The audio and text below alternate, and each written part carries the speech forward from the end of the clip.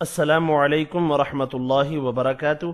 انشاءاللہ آج کی اس ویڈیو میں قربانی کا طریقہ اور دعا سیکھیں گے۔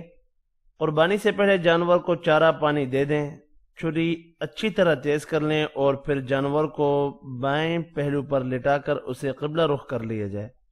اپنا دایاں پاؤں اس کے پہلو پر رکھ کر تیز چھری سے جلد ذبح کیا جائے۔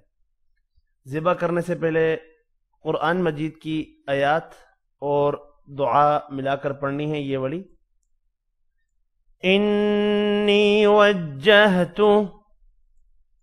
وجهي للذي فطر السماوات والأرض على ملة إبراهيم حنيفاً وما أنا من المشركين قل إن صلاتي ونسكي ومحياي ومماتي لله رب العالمين لا شريك له وبذلك أمرت وأنا أول المسلمين. يها أول المسلمين. اللهم منك ولك بسم الله. الله أكبر. میں نے اپنا منہ اس ذات کی طرف کیا جس نے آسمانوں اور زمین کو پیدا کیا۔ میں ابراہیم علیہ السلاۃ والسلام کی ملت پر ہوں جو حنیف اور مسلم تھے۔ میں مشرقوں میں سے نہیں ہوں۔